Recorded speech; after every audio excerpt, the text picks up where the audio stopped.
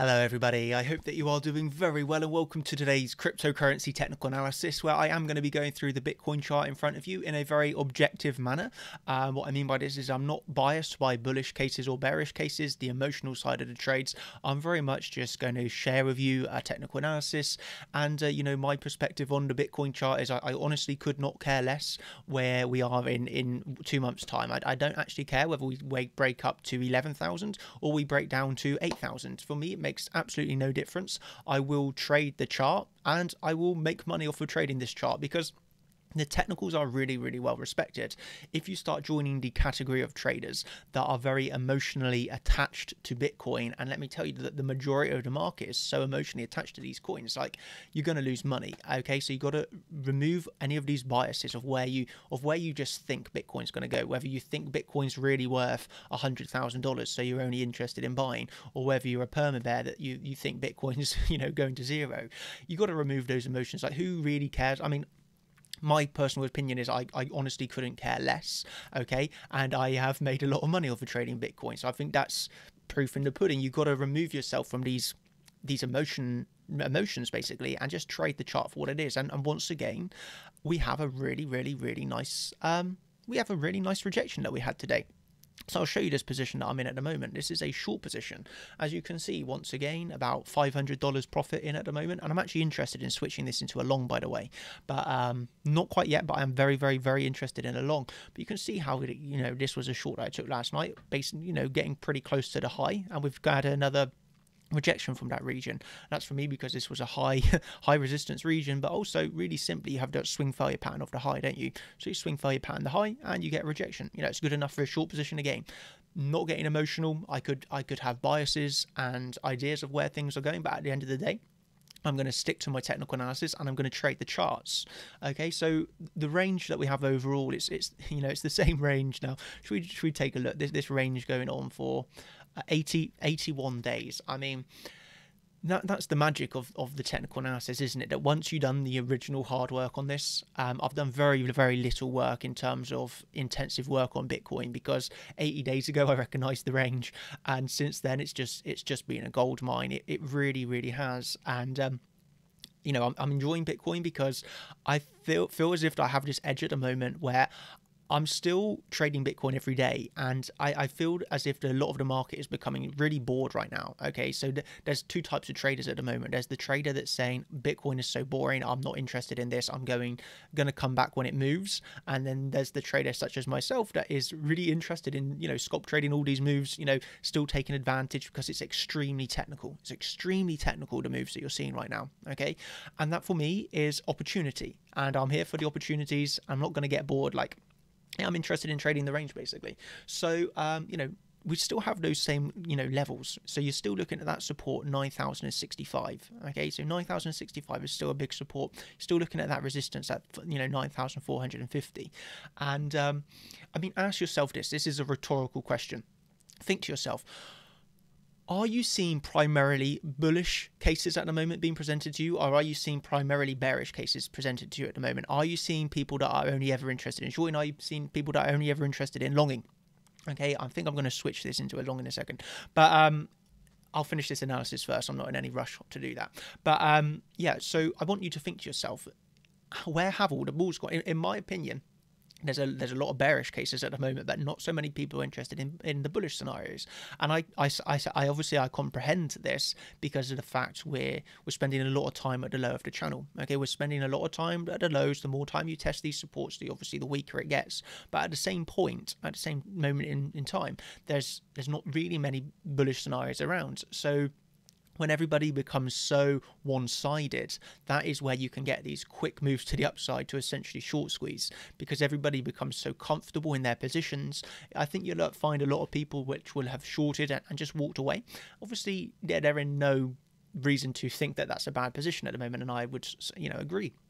But uh, you just have to be very, very aware of your key levels of resistance. And if you start to break these key levels, which there's going to be many, many stops based off of, you can imagine the impulses that you're going to get out of this. Combine that that I've just mentioned with the fact we're in an 80 like 80 day long range with open interest increasing you know we're, we're ready for fireworks and i'm not going to be one of these youtubers that's going to um that's going to say to you oh my god we're just about to break up. We're just about to go to $20000 like you know that there's so much I, I i you know i personally don't like it because it's so it's just so misleading i suppose. It's really really misleading. Um I, you know my my opinion on this market is the same as it has been for the last 80 days. You know we have got to just trade this range and there's a lot of money to be made on trading this range okay? What we just saw a really quite a, you know in terms of percentage small percentage move but that's still you know from from this last from this evening okay from last evening okay so we're talking about like 12 hours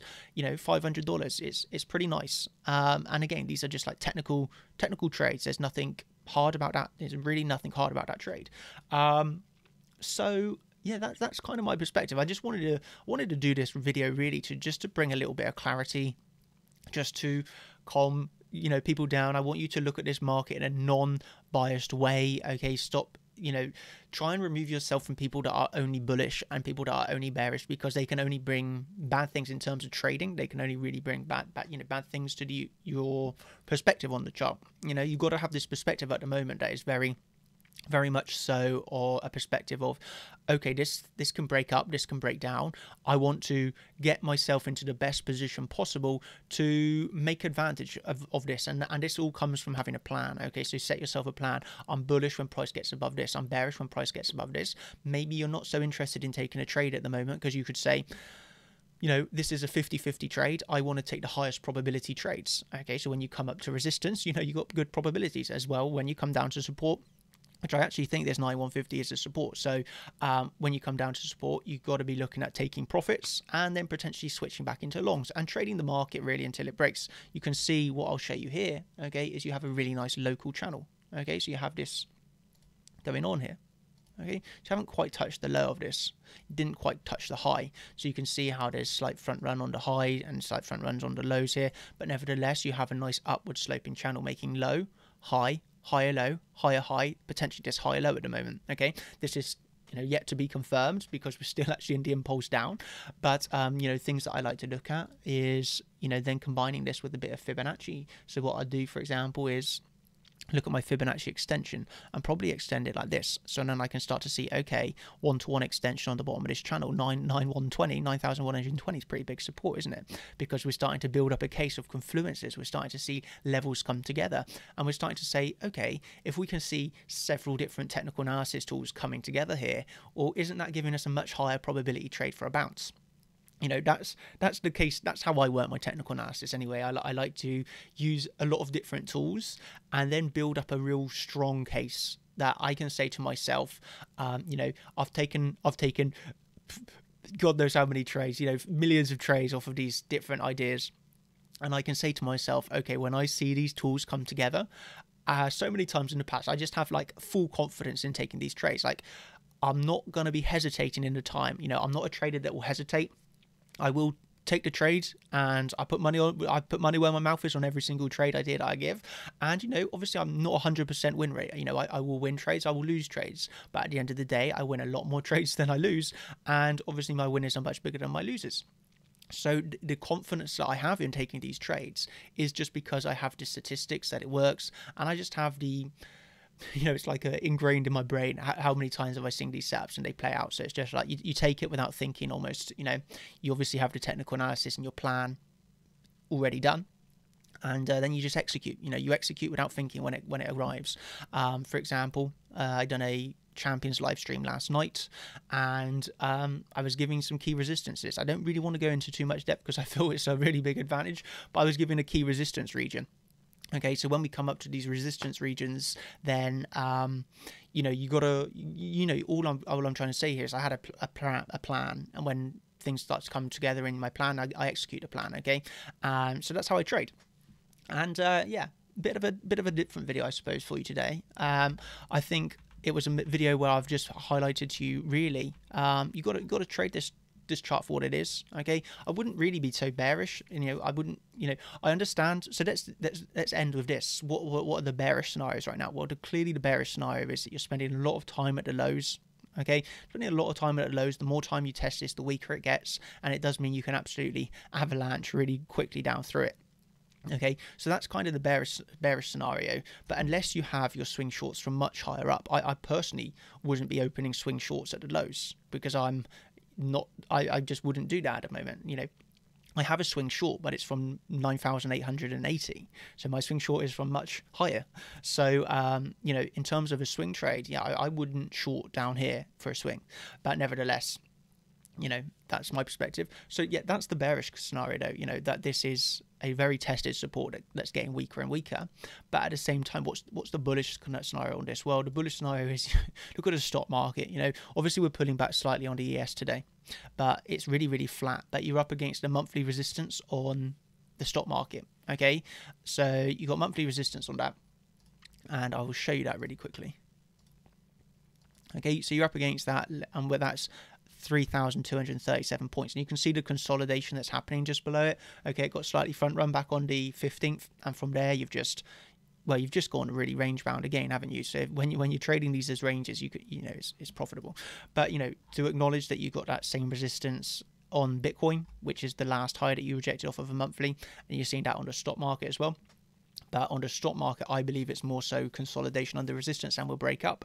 So remembering the correlation, if we're if well personally, if I'm expecting a breakup on the stock market, then I got to envision that Bitcoin can stay correlated. Uh, you know, I I do also know, by the way, don't don't think I'm silly, but I do know that the correlation is more for five minute time frame traders or less. So um, yeah, nevertheless, you know, I know, I know this. You don't need to, you don't need to comment in the section below. But you know, even though we got that, you know, we got the low term time frame correlation, I still do think it would be strange to see uh, the stock market breaking the monthly and, for Bitcoin to remain down here.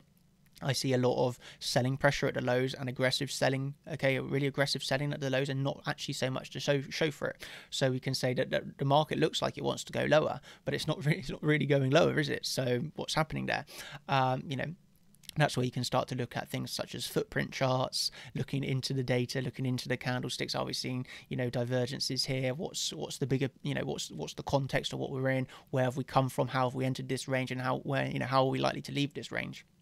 Those are the sort of questions that you need to start asking yourself, really. Uh, if you want to be ahead of the game, okay, and you're not actually I, I, truly feel that you could even be wrong at the moment. You know, let's say you feel that it's going say you feel that it's going down when this starts to break up, you, you can be wrong on your analysis and take the you know the initial loss, and I still believe that you can fully take advantage on the bigger move that will come off of this. Um, but as long as you have a plan ready to trade this, be it to the upside or be it to the downside, as long as you have a plan to trade this, I truly feel that you can make a lot of money when this breaks because I'm expecting follow through. I'm personally expecting follow through. Uh, until then, you know, I've, I've shown you I'm, I'm in these sort of scalp positions on Bitcoin. I do hold a swing trade, but I'm actually very much interested in a move to the upside. I must admit, I'm I'm looking for a move up here. So um, that's why I'm very interested in switching in my short I'm in at the moment into a long. I want to give this a maybe another well maybe another two hours till the US market open. That's in uh, two hours and uh, 20 minutes. But if we can hold this support myself, I'm interested in a long. But um, you know, you got to trade your own plans, not financial advice. But you know, I'm interested in a long. Um, so yeah, if we can get 9120, then even better. But you know, we'll wait and see if that if that's the case. 9120, 9110. Um, but yeah, that, that's kind of my not so much really analysis, but just a perspective on the market. And I, I feel, um, you know, I'm one of the most profitable traders in the whole of crypto. So for me to give you some guidance, I, I hope that this has helped you. Okay, so for wrapping up points of the guidance here was, you know, honestly, if you can identify these ranges, then the the ranges are just insanely profitable. Like very, very, very, very, very nice trading on the ranges. So if you can start to identify these, then like you you just you just set okay? And then secondly you want to trade that range till it breaks. So stop getting bullish at the highs stop getting bearish at the lows okay? You got to be looking for shorts at the highs and long for the lows. And uh, you know just just trade the range until it breaks. And if you can identify the range before it even forms well you, you're on a gold mine. So um you know that's my advice for you block out the things where people are just going to be saying bitcoin's one day away from breaking out. We're going to 300,000 or or one week. And you know urgent news bitcoin's going to you know all these sort of things you know it's just no good for you you know really isn't. So um and I'm not I'm not trying to say that my content's better than anyone else's either. I'm just trying to give you a very unbiased perspective on the market of some potential bullish signs, some potential bearish signs. And really, I'm not even going to say that I'm going to try and predict it. I'm just saying I'm reacting from the information that I'm given. So I'm not a genius here. You know, I'm making money on the charts, but I'm by, I'm by far a genius. I am just really simply trading what the chart gives me. So I am not trying to predict here. I'm not trying to even time the highs or time the lows. I'm just waiting for reactions and taking trades. Like you know that you know that's how I'm trading it, and it's clearly going very very well. So um, yeah, that's my analysis of today. I will end by saying this for um, myself that if you're interested in in-depth analysis from myself, if you're interested in live updates, done a live stream last night for the champions. I've done a live stream this morning before this for an hour for the contenders and the champions. So if you're interested in a lot of my live content where yeah, today I went very, very, very in depth on a few different altcoins and really nice setups that we have there.